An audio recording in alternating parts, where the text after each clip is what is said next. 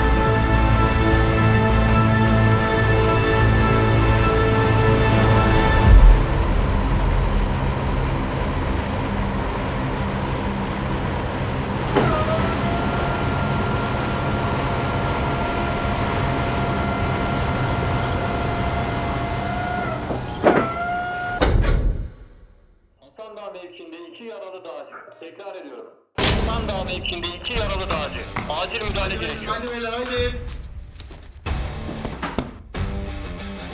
Acil olay yerine intikal edin. Evet arkadaşlar son 10 dakika. Son 10 dakika. Durum bölgesinin hassas koordinatları intikal esnasında verilecektir. Akif görev hazırda.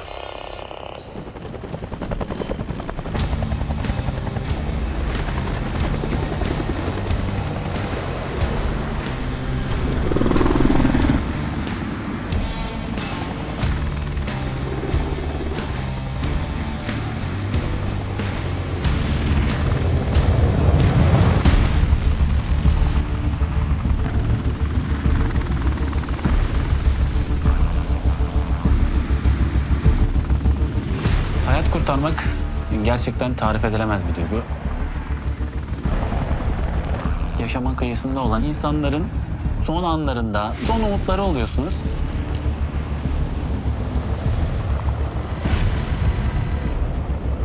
Paraşütle, helikopterle, vinçle yanına iniyorsunuz. O yüzündeki ifade, onların yüzündeki o duygu tarif edilemez.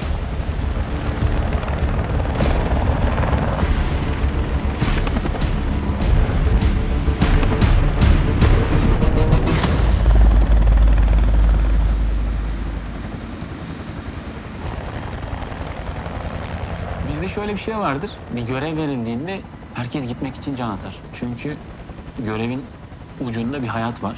O hayatı kurtarmak bizim için çok önemli.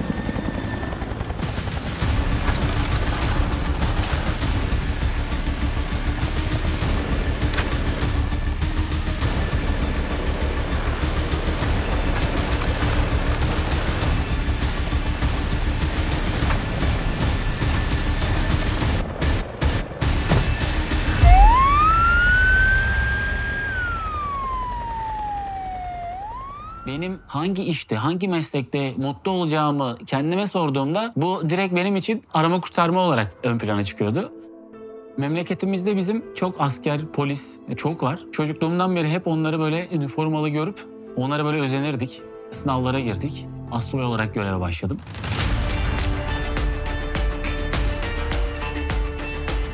Arama kurtarma ihtisaslı personel yaklaşık bir yıl çok üst düzey, çok yorucu bir eğitimden geçiriyor. Bu eğitimin sonunda özel bir birlik oluyorsunuz.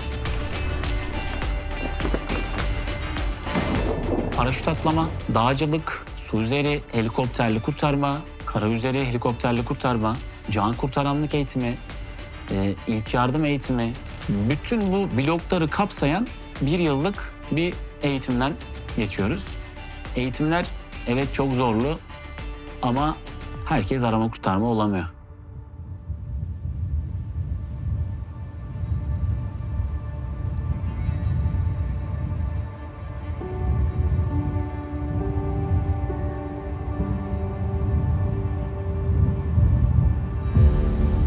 Paraşütle atlamak her zaman bir hayalimdi benim.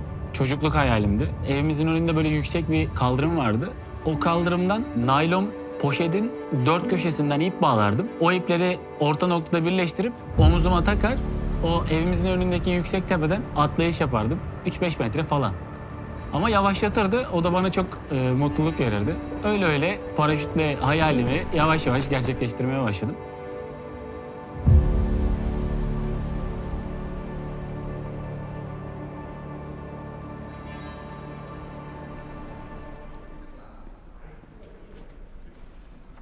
Tarihi çok seviyorum. Tarihle ilgili kitaplar okumayı çok seviyorum. Eğitimden döndüğümde gazinoda dinlenmek için oturdum bir kitap almak istedim elime. Kütüphaneden kitabı karıştırırken o Kıbrıs için havalandılar kitabı denk geldi. Okudukça sürükledi beni. Okudukça o tarihi anlar aklıma geldi. Kayseri'den havalanıp Kıbrıs'a hava indirme harekatı düzenlemeleri kitapta benim en çok ilgimi çeken noktalardan bir tanesiydi.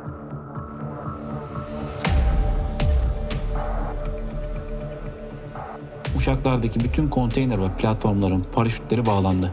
Topçu bataryasının gerekli tesisat bulunmadığı için havadan atılmaması yönünde karar alınmışken Ankara'dan gelen bir emirle bu bataryanın da Silifke'yi geçer geçmez 500 fit irtifaya inerek Akdeniz'i geçecek. Lapta, Karava arasından 5 parmak dağlarını aşıp 1000 fit yüksekliğe çıktıktan sonra dönüşümüzü tamamlayıp Kıbrıs'a doğru yol alırken klima sistemi arıza yaptığı için uçağın içinde çok terlediğimizi ve bunaldığımızı hatırlıyorum. Yeni plana göre C-160 ve C-130'lar Girne'nin doğusundan giriş yapacak, sonra sağa dönecek ve doğu-batı istikametinde atma sahasına girip atmayı yapacaktı. Onları ikinci sortide mutlaka atlatırdık. Ama harbe gidiyoruz. 20 saniye içinde 64 paraşütçüyü mutlaka atlatmam gerekiyordu. Atma bölgesinde muazzam bir görüntü vardı. Altımızda ise büyük bir ses. Bütün uçakların atma irtifaları aynıydı. C-160 ve C-130'lar C-47'lere göre biraz daha süratli atıyorlardı. Uçağımızda iki tane asker vardı. Uçaktan atlayan paraşütlerin kolonlarını çekmek için görevlendirilmişlerdi. Bölgede çok yoğun bir duman vardı. Bombalanmış yerler yanıyordu. Bu yüzden atma sahasına biraz eğri geldik. Bu da çok önemli bir konudur. Ben havalanmadan önce yerde pilotlara dedim ki atma sahasından sadece bir geçiş. Aşağıdakiler gafil avlanmışlardı. Kitabı okurken 50 yıl öncesine gittim. Kayseri'den kalkıp Kıbrıs'a barış getirmek için o atlayan paraşütçülerimiz gözümde canlandı. Onların o topraklara inişi, mücahitlerle buluşmaları, bizim yaptığımız işle çok bağdaştırdığım için canlandırmam da aslında biraz da kolay oldu.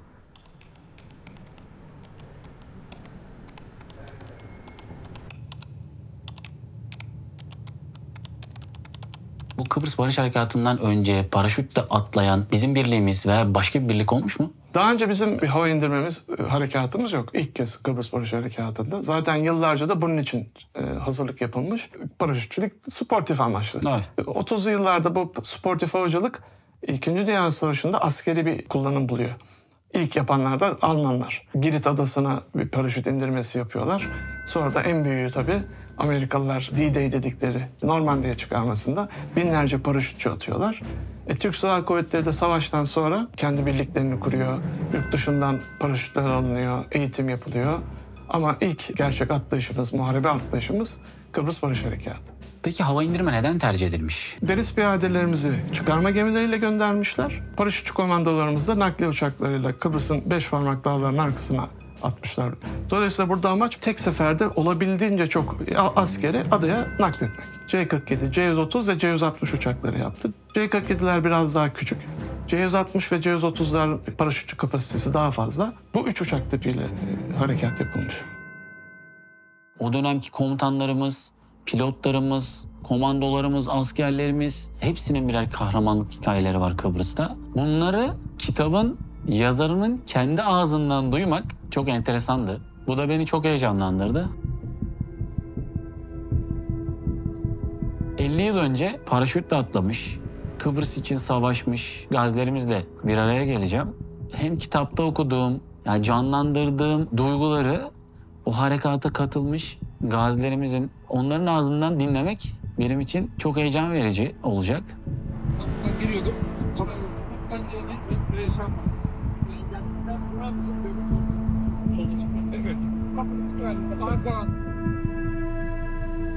Hatırlıyor musunuz abi kaç kişiydiniz yani uçakta? 64 kişi. 64 kişi. 64 kişiyiz. Şöyle. He, şu kapılardan girdik işte. Komutanlar size bu Kıbrıs'la alakalı evet, neler evet. bahsetti? komutanlarımız, subaylarımız bize anlattılar. Hakkınızı birbirinize helal edin. Bu bir barış harekatıdır. Oradaki soydaşlarımız, kardeşlerimiz var. Onları korumak için gidiyoruz. Düşmanlarımız dahi olsa haksızlık ve yanlış yapmayın. Çünkü biz insan öldürmek için değil, güvenliği ve oradaki vatandaşlarımızı, oradaki kardeşlerimizi korumak için gidiyoruz. Ülkemizi korumak için gidiyoruz.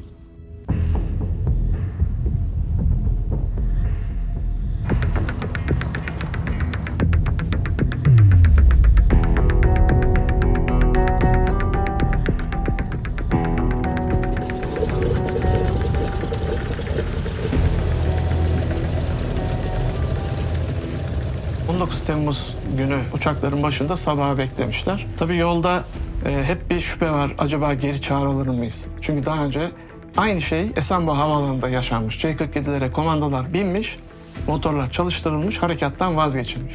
Uçaktayken korkmayan var mı? Vardır muhakkak yani. İnsanız nihayet. Öyle bir heyecanla şeyli e, şey e, pilot e, anons etti ama e, herkes birbirine baktı. Acaba doğru mu?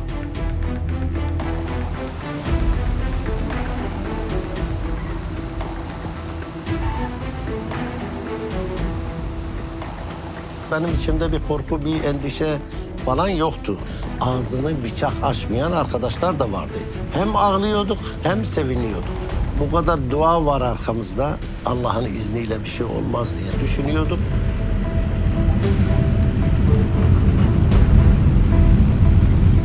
Ne yapacağız, ne edeceğiz, öleceğiz, kalacağız. Herkes bir şeyler söylüyor. Dedim ki arkadaşlar, arkadaşlar dedim. Bak biz bir yere gidiyoruz. Dönüşü unutun.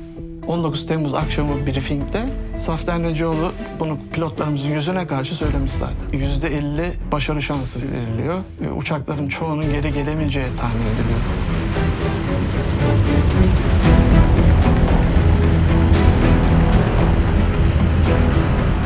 Ne zaman ki Akdeniz'e çıkmış uçaklar hem pilotlar hem bütün personel rahatlamış. Artık bu iş oluyor demişler. Zaten e, radyodan da Başbakan Ecevit'in, Bülent Ecevit'in konuşmasını duyunca e, marşlar söylenmeye başlamış. Biz aslında savaş için değil, barış için ve yalnız Türklere değil, Rumlara da barış getirmek için adaya gidiyoruz. Biraz sonra Jack Master kalktı ya. Ayağa kalk, kanca tak işareti verdi.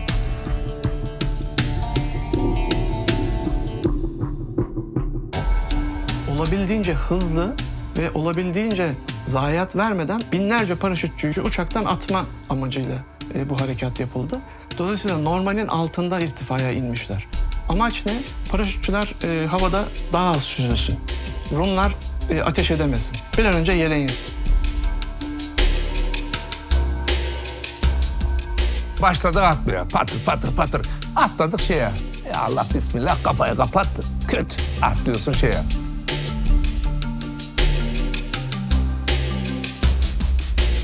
İki güzergah kullanılmış. C-47'ler Magosa tarafına uçup Karpas dağlarını nirengi alıp Akdeniz'i geçmişler. Dönüp Gönyeli, Kırna'ya doğu batı istikametinde atmışlar.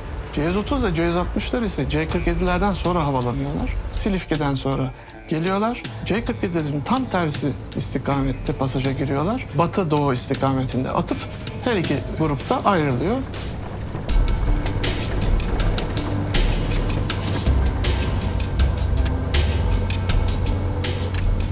Ortaköy'e Gönyal arasında bir yere atladık.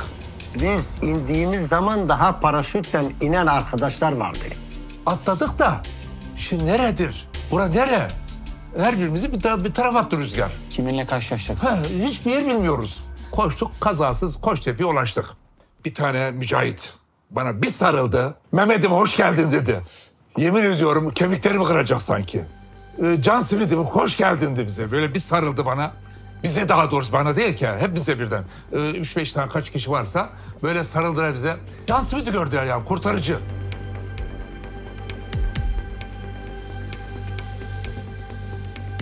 Sabah saat beş, beş buçuk civarıydı. Bir tane havan mermisi geldi düştü. Se- ses de yaptı yani. Düşünce biz tabii fırladık herkes bir tarafa. Kıyamet yani silah sesi, barut sesi. Tabii orada en büyük zayiatı verdik.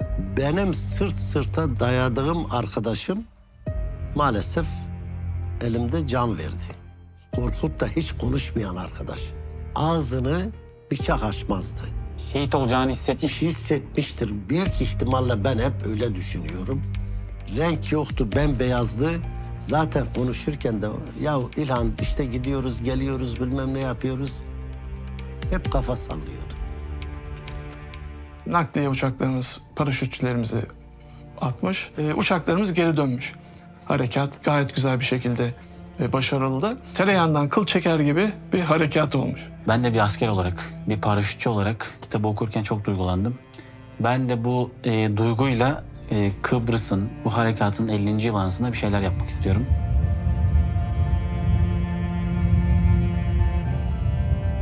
...50 yıl önce büyüklerimiz şu anda bizim atladığımız atlayışları onlar Kıbrıs topraklarına barış gelsin diye bir bilinmeze atlamışlar. Biz şu anda tatbikat atlayışları yapıyoruz, eğitim atlayışları yapıyoruz. Ben de böyle bir planlama yapmak istiyorum eğer uygun görürseniz komutanım. Çok güzel bir fikir. Bu konuda sen planlamanı yap lütfen.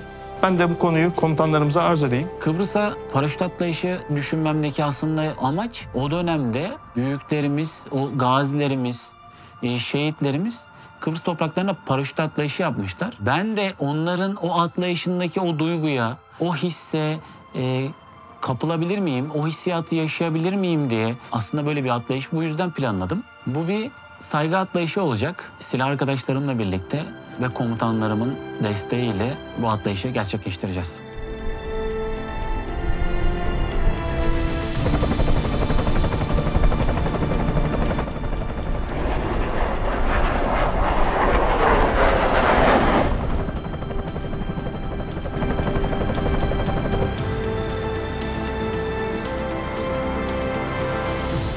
Değerli arkadaşlarım, biliyorsunuz Kıbrıs Barış Harekatı'nın 50. yıl dönümü yaklaşıyor. Adaya barış götürdüğümüz bu güzel günde Engin Assubay'ım çok güzel bir teklifle gelmişti. Komuta akademimiz de bu teklifi uygun gördü. Bununla ilgili gerekli hazırlıkları gördüğüm kadarıyla yapmışsınız. Bir anlatırsanız sevinirim. Bu görev için iki tane kasa uçağı planlandı. Bir tane ANKS insan savar aracımız var. Her uçakta 8 olmak üzere toplamda 16 tane ekip atlayış yapacak. 6000 fitte kapalılık var. Bu yüzden 5 parmak dağlarına geçerken buna dikkat edeceğiz. Atlayışla ilgili tüm koordineler kuruldu komutanım. KKTC personeli de bölgede bulunacak. Ambulans ayarlandı. Yer rüzgarı da atlayışın uygun komutanım. Lider uçan uçak komutanı benim, diğer uçan uçak komutanı Kayalı Yüzbaşım olacak. Uçuş teknisyenlerimiz Dinçer Başçavuşum ve Yılmaz Başçavuşum olacak. Dağları açtığımızda atma sahasını gördüğümüzde rüzgarımız sakine yakın komutanım. Güneyli başta sınır kat edilmeden atlayışımızı gerçekleştireceğiz. Herhangi bir aksi durumda Dinçer Başçavuşum Jumpmaster aracılığıyla atlayıcıları ikaz edecek. Engin Assubay'ım, Jump Master olarak da bu görevde siz güzel, değerli bir emanetle gidiyorsunuz oraya. Yerde sizi bekleyen bir sürprizimiz var. Umarım siz de gereğini yaparsınız. Emredersiniz komutanım. Teklifimi kabul ettiğiniz için öncelikle çok teşekkür ederim. Ekip olarak da çok mutluyuz. Teşekkür ederiz komutanım. Kıbrıs'a yapacağımız bu atlayış, e, bu zamana kadarki atladığım 400 atlayıştan en anlamlısı ve en duygulusu olacak.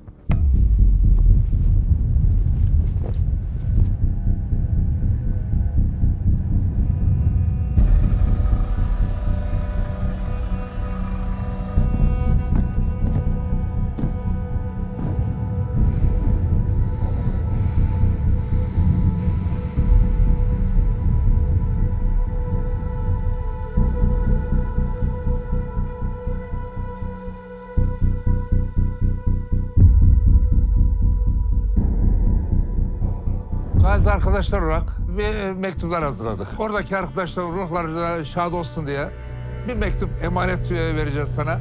Yerine ulaştırırsan bu bizim için büyük mutluluk kaynağı olur. Bunu emaneti sana veriyorum.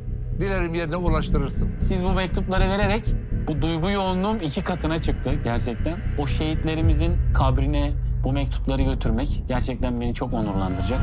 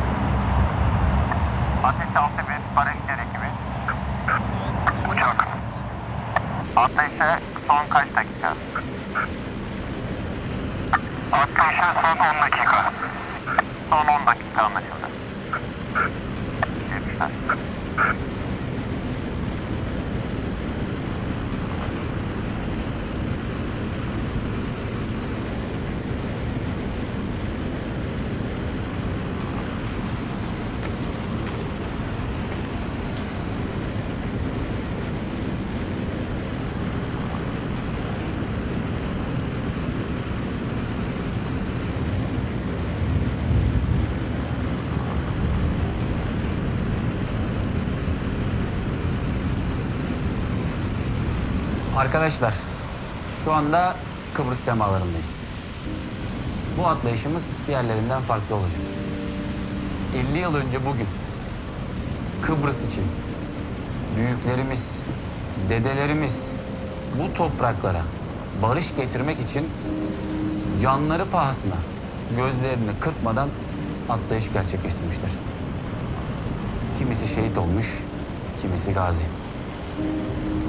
Şimdi biz de bu atlayışımızı onların anısına yapacağız. Ruhları şad olsun. Evet beyler, emniyetli atlayışlar.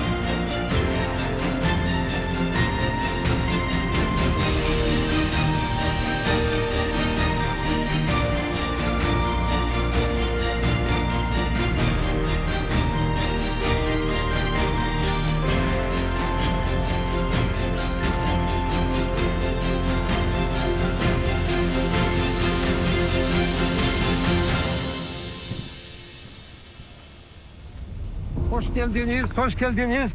50 yıldır sizleri bekliyoruz. En nihayet rüyalarımız gerçek oldu. Merhabalar. Hoş geldiniz. Hoş bulduk. 50 yıl sonra yeniden sizi burada görmek beni 9 yaşına çocukluk anılarıma götürdü.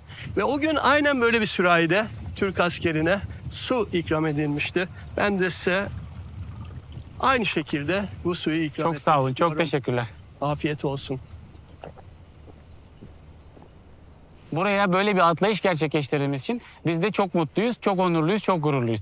Biz de çok mutlu olduk çünkü 50 yıl öncenin anılarına geri döndük. 9 yaşındaydım. Oldukça enteresan bir olaydı. Uçakların o gürültüsünü duymaya başladık. Paraşütçü birlikler bizim evimizin arkasında artık mesafeyi bilemiyorum. Herhalde 1-2 kilometre ilerisinde tarlalara iniyorlar. Dışarıya fırlamak ve o paraşütleri, o gökyüzünden inen mantarları görmek inanılmaz bir duyguydu. Siz neler hissettiniz o dönemde? 20 Temmuz sabahı paraşütçülerin Dikmen bölgesine ve Gönyeli bölgesine atlayışlarını ben mevzideyken, Lefkoça'da mevzideyken izliyorduk. Heyecanla biz askerin Girne'den Lefkoça'ya da gelişlerini dört gözle bekliyorduk. İlkin tabii hava indirme komandolarımız Dikmen ve Gönyeli ovalarına atılıyor.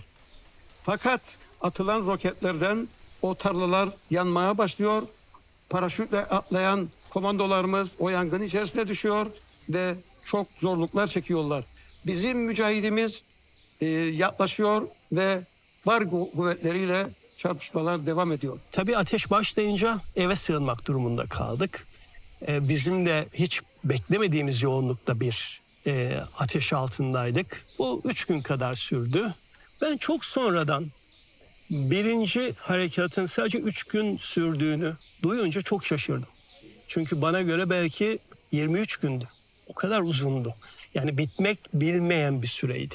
Ateşkesin olduğu e, dönemde tank birliklerimiz de Girne'den Lefkoşa'ya ulaşabilmişti. Gönyeli'nin yakınlarında bir yere konuşlanmışlardı. Artık kaç tane olduğunu hatırlamıyorum. Tabii çocuktum. Tabii onlar orada yeni bir emir beklerken biz de annelerimizin pişirdiği yemekleri bisikletlerle onlara götürmekten büyük mutluluk duyuyorduk. O tankların üstüne çıkabilmek, iki laf edebilmek bizim için çok büyük mutluluktu. Bütün o büyük e, çabanın içerisinde minicik bir katkı, işte evde pişen bir yemeğin bisikletle götürülmesi, onlara verilmesi de apayrı bir mutluluk tabii.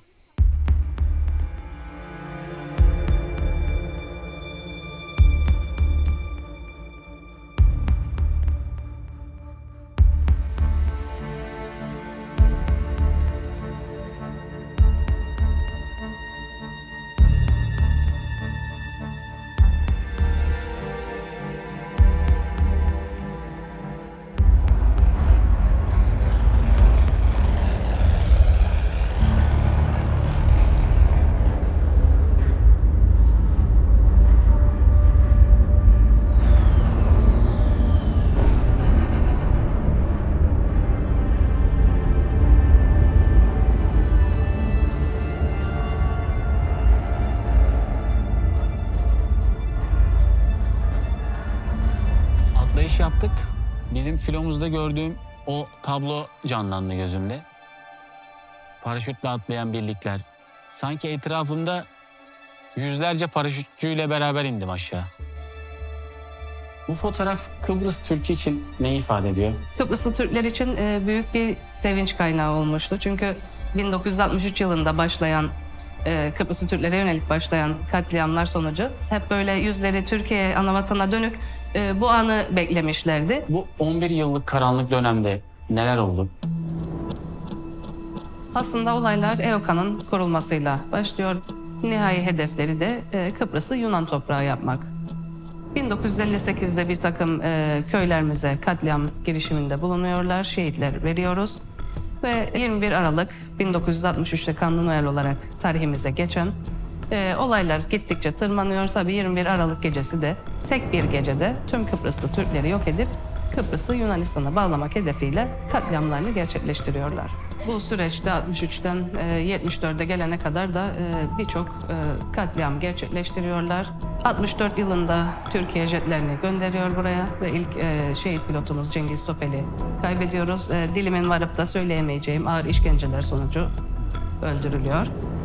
E, 15 Temmuz'da Rumların lideri Makaryos'a bir darbe girişiminde bulunuyorlar ve e, Kıbrıs Cumhuriyeti'nin kurulmasındaki garantör ülkeler olası bir durumda Kıbrıs Cumhuriyeti'nin tehlikeye düştüğü bir durumda buraya askeri müdahale etme hakkı doğuyordu.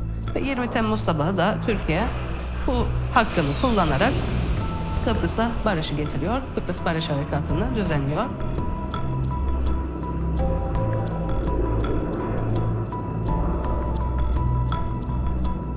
1965 Harp Okulu mezunuyum. 63-64 ve hadiselerinde biz kamptayken yaşadık. Buradaki toplumun çektiğleri acıları orada da biz hissederek ben bir Anadolu çocuğu olarak buraya çıkılması gerektiğini o zamanlar inanıyordum.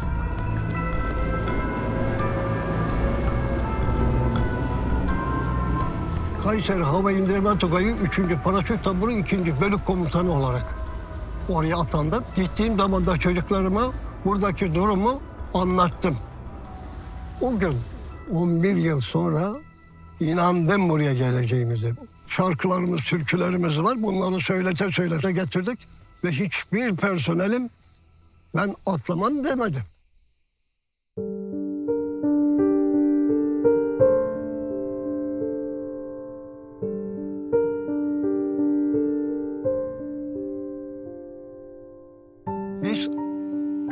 Atladık saat 11 civarlarında falan. Akşam saat 7 sıralarında harekata başladık. Allah'tan harekat yapıldı. Ben o günleri yaşadığım için mutluyum. Bana verilen görevin de başarıyla bitirilmesinden dolayı mutluyum.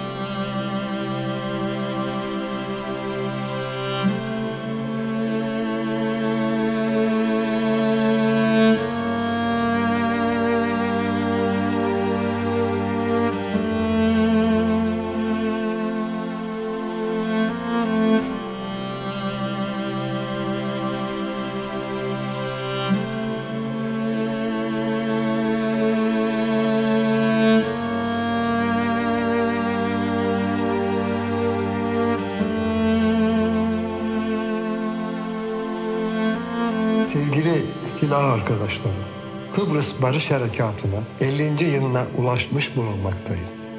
Aradan geçen yıllar nedeniyle sizleri asla unutmadık. 50 yıl geçmesine rağmen halen rüyalarından çıkaramıyoruz. Sonra birden Kıbrıs'a atlayışımız, Koçtepe'deki çatışmalar, oradaki esirleri toplayışımızı hatırladım. Sizleri hiçbir zaman unutmadık, unutmayız.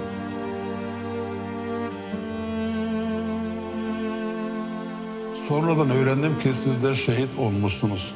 Bizler de sizlerin şahidi olarak gazi olduk.